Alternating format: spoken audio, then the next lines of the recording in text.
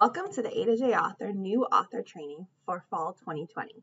This is Jessica Frank, A to J Author's project manager for CALI, the Center for Computer Assisted Legal Instruction. This is video five in a five part video series. This video will cover the A to J DAT, the document assembly tool that's used to build back-end templates to go with your front-end A to J guided interviews. There are two ways in A to J Author to create templates. You can either create a PDF template or a text template. Both have the same outcome though. Both a text template and a PDF template produce a PDF document when finally assembled. The difference is in how you create the original template and how you automate on top of it. What is the same for both of them is that each require a new destination. So the new destination DAT options are assemble, generate PDF document, and assemble, generate PDF, and process form. The first one, assemble, generate PDF document, generates the document for the end user when they hit that final button, but it does not close the browser window. The user themselves will need to close the interview window in order to complete or finish the interview. The second option, assemble, generate PDF, and process form, generates the document for the end user to their local machine and posts the answer file to the server in order to be saved.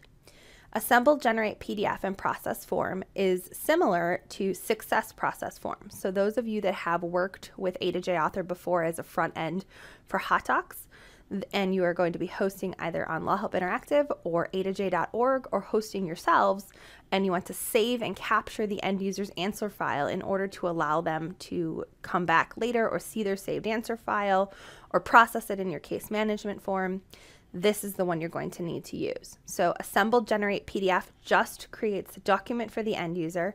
Assemble generate PDF and process form creates the document for the end user and sends the user's answer file on to somewhere else. So the first one we'll talk about today are text templates. They're basically starting from scratch. If you think about a Google form or a Google Doc, how it's blank when you start it and you add elements to create the ultimate document, that's similar to our text template. So when you uh, create a text template, when you click uh, text, create text template, this screen opens up within your A to J guided interview and you're able to start adding elements to your template to build the completed one. So the first thing you're going to want to do are, uh, is go to the template options. Template options control your entire template. So here's where you can change the font for the entire template the font size, any special section numbering. You can make this specific template conditional, so only use the template if, for example, have children TF is true. So this template maybe is only applicable if the end user has children, and otherwise they don't need this template at all. Say it's um, a divorce and you have to come up with a child custody plan, and you don't need it if they don't have children. So you can make this entire template conditional within a packet of templates um, in within a guided interview. Here's also where you can add in a custom header or a custom footer. You can allow it to display on the first page or not. You have full editing options um, within the header and the footer as well. Once you've created all of your options for the entire template and you've either made the header or the footer or, or not, you move on to adding elements. So within a text template in A to J, you can add a section, rich text, a page break, if else, and repeat loops. The most important one, and the one you're going to spend the most time in, is likely the rich text editor. The rich text editor allows you to add in text and variables and include formatting options as well. When you hover over each of the icons which, within the editor, it tells you what that icon can do for your, your text. So for example, the most important one that you're likely going to focus on is inserting a variable. When you click the P, the insert an variable icon, the variable icon selector will open up for you. When you start typing, A to J will filter the variables that you have in your A to J guided interview by the letters you've typed, the characters you've typed in, and then you're able to select the one that is most appropriate that you want to insert. When you have picked the one you want, you select it, you highlight it, and you hit the OK button. This will insert it into your rich text, and then you'll be able to combine both text and variables. The next element to discuss is if-else conditionals. If else conditionals let you conditionally insert sections, rich text, or page breaks based on whether a variable is true or false, if the value held by a variable meets another va- value that you're you set ahead of time, or several different conditions. You can also add in else sections. So if the first part is not, if that first condition is not met, then the else clause will be displayed to the end user. As I mentioned, if else can hold either section breaks, rich text, page breaks, and repeat loops within an if else conditional. So you can have these inserted only if some condition is met or not met.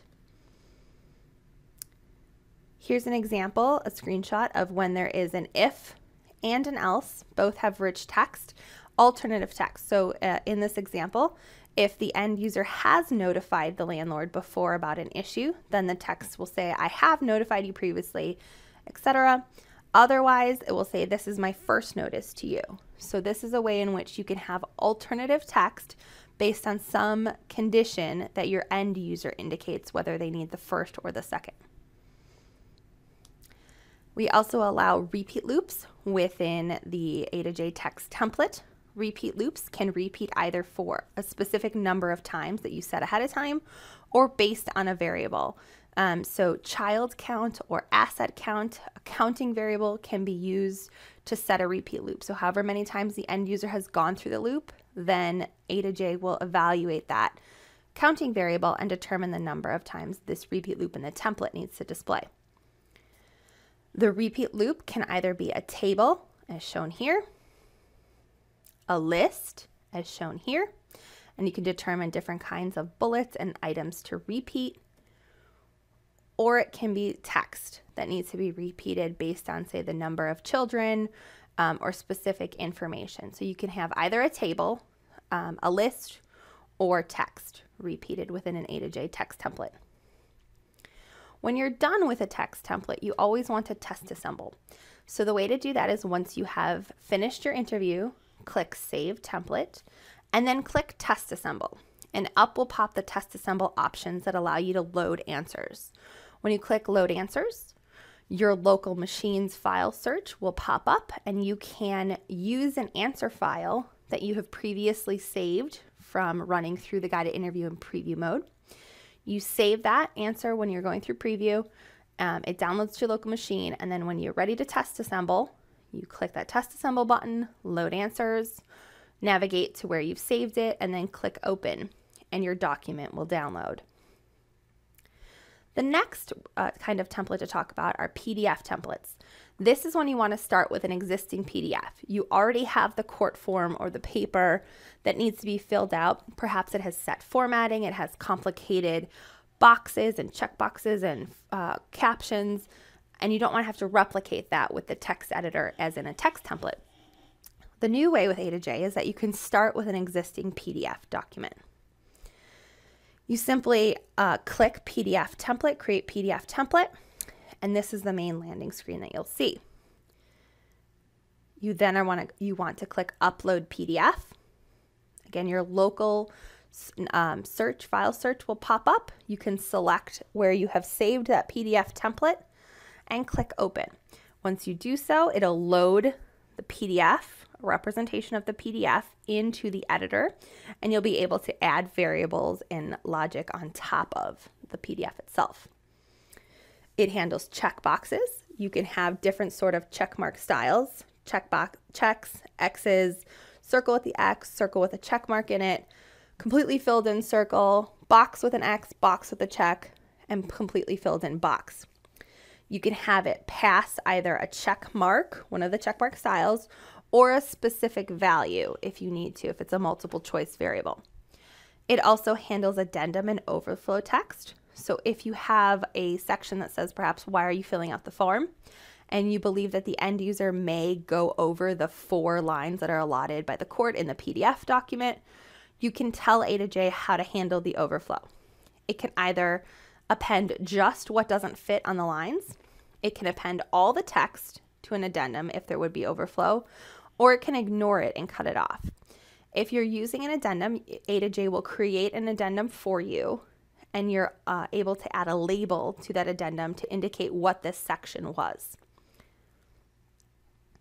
A to J also handles true false checkboxes. So if a variable is based is either yes or no, um, you can pass the value, one of the checkmark styles on the left. If the value is true, it, that's the default, and you can pass one of the checkmark styles. But if you want to pass the checkmark if the variable is false, you can indicate that by checking the box as well. Just like text templates, uh, PDF templates have template options. So you can change the font for the text that will be printed on the PDF, the font name and font size. You can configure the addendum if you want to make a custom addendum. You can make this template conditional also. So only assemble if assemble TF is true um, or have kids TF is true. Some sort of condition is met or not met that you only want uh, this template to show. In this template option section is also the test assemble and the save button and it gives you an indicator of when the last time it was saved. When it is saving, if you hit save, this little green circle will go white. And when it turns green again, you know that, that your version has saved to the server.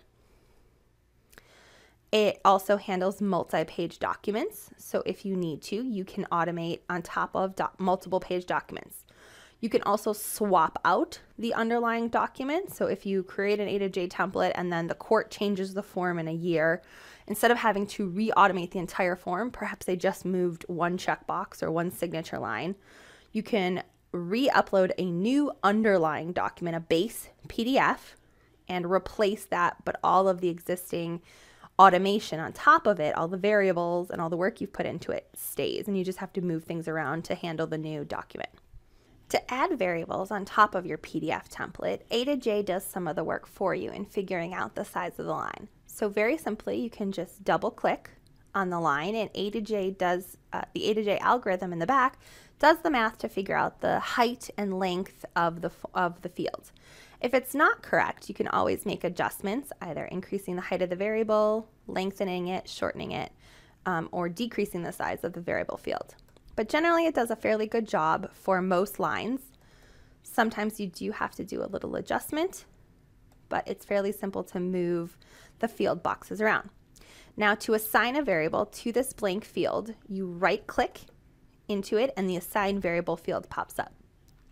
The great part about the PDF template is that you can create variables on the fly. You don't already have to have the variable within your A to J variables tab. If you do have the variable in, you can start typing the name of the variable and A to, A to J will sort the variables that it does know about um, alphabetically, matching the characters that you've already typed. But if you have one that isn't already in there and doesn't match any of the known variables, you can create the variable right here on the fly, either text, true, false, number, date, or multiple choice. And when you hit assign, it both assigns that variable to this field and it creates that variable and puts it into your variables tab. So when you hit assign, now when it turns blue, it says the name of the variable and it indicates that it is assigned to this field. So you can see the difference between an unassigned variable, yellow, and an assigned variable, blue. There are a couple keyboard shortcuts that are built into text or into PDF templates, and you can access them by hitting Control and the forward slash or Command and the forward slash uh, for a Mac. So this allows you to delete uh, selected boxes, move boxes around as you're drawing boxes over checkbox uh, checkbox areas. Those can be a little bit difficult, but this lets you automatically do some of that uh, without having to use your mouse. Finally, we have additional resources. To learn more about the A to J Author document assembly tool, you can check out chapter 15 of our authoring guide. It's available under the Learn tab on a2jauthor.org, or you can go to www.a2jauthor.org slash content slash a2j authoring guide. We also have additional sample exercises for you to practice your authoring skills. We have over a dozen now that range in complexity from a 15 to 30 minute exercise to a longer three to four hour complete um, test of your authoring skills. So you can also find those under the Learn tab by navigating to the sample exercises, or you can go to www.a2jauthor.org slash content slash sample dash exercises dash learn dash a2j dash author. As always, feel free to reach out to me with any authoring questions that you have. My email is jessica at cali.org. That's jessica at cali.org. Thanks for watching the videos.